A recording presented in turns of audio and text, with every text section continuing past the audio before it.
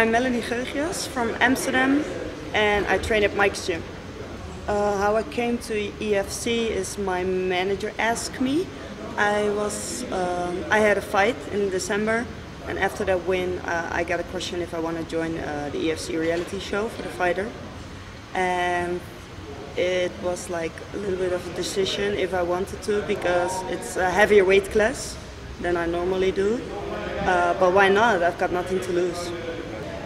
I've never been in South Africa. This is my first time, so I'm very excited, and uh, I like it a lot. It's warmer than in Holland. It's uh, like winter time now over there, so here I can just chill at the pool if I have free time. Um, I like all the girls.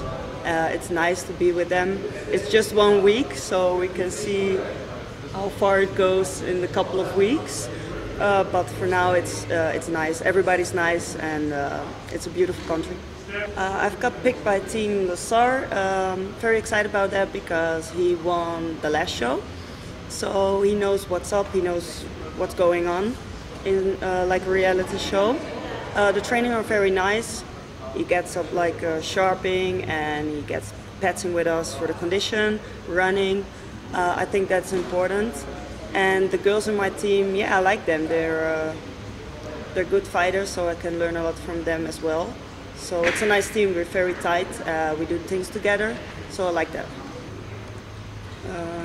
it's a hard question. Yeah, something to think about.